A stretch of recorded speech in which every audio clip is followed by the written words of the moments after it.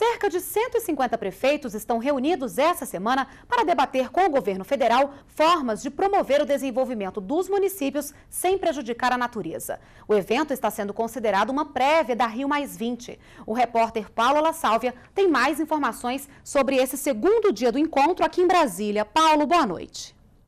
Boa noite, Renata. Neste segundo dia de encontro entre esses 150 prefeitos de todo o país e representantes de várias áreas do governo federal, o tema que dominou os debates foi o empreendedorismo representado pelas micro e pequenas empresas, que ao gerarem emprego e renda, promovem o desenvolvimento econômico sustentável do país e ajudam a combater a miséria e a extrema pobreza.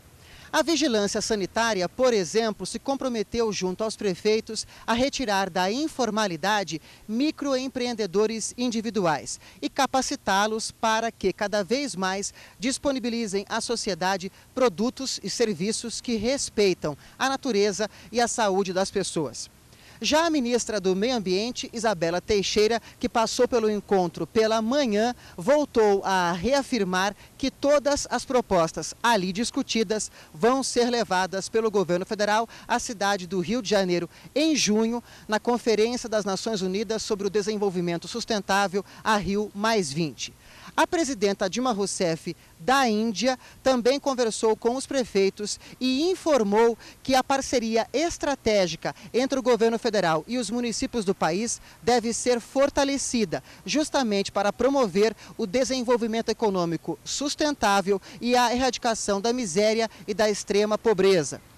A presidenta Dilma Rousseff também lembrou que o governo federal vai investir até o fim de 2014 mais de 16 bilhões de reais pelo Programa de Aceleração do Crescimento, versão 2, nos municípios do país, para que, entre outras coisas, sejam construídas redes de abastecimento de água e esgoto e outros 73 bilhões de reais pelo programa Minha Casa Minha Vida 2 para a construção de moradias populares populares.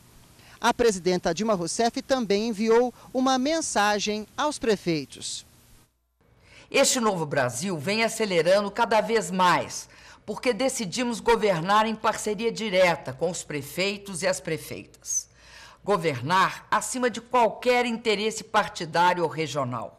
Governar livre de formalismos burocráticos ou limitações políticas. Tenho o compromisso de ampliar e fortalecer ainda mais esta parceria municipalista e republicana.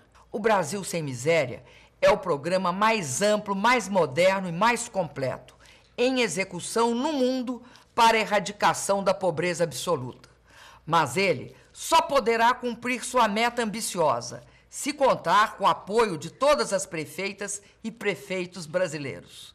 Da mesma maneira, o Brasil só poderá sair fortalecido da Rio se mostrar que o conjunto da Federação Brasileira, a começar dos municípios, está verdadeiramente comprometido com o desenvolvimento sustentável. Transformar o Brasil e melhorar nossas cidades vai depender tanto do governo federal como dos governos municipais.